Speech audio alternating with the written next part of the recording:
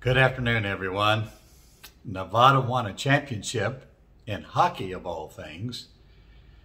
The cost of living, the inflation rate has dropped significantly, half what it was last year, and the Southern Baptists met in New Orleans for their annual meeting. And that's what I want to talk to you about today. I was a Southern Baptist for a long time, the first 40 years of my life, really. I'm not anymore, and this is one of the reasons why.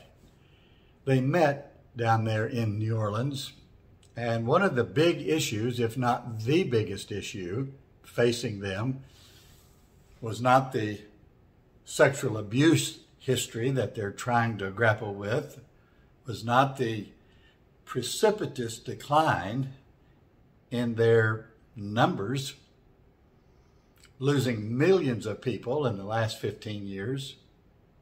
No, it's women. What to do with the women? This was the issue 30, 40 years ago during what they call the conservative resurgence, back when I was a Southern Baptist and I left over that. They're at it again.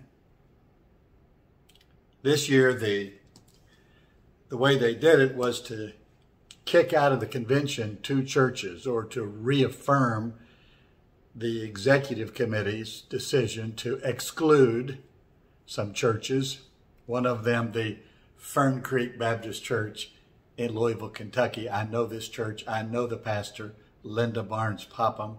She's been there for 30 years as the pastor and a few years before that as a minister. I know her. I honor her.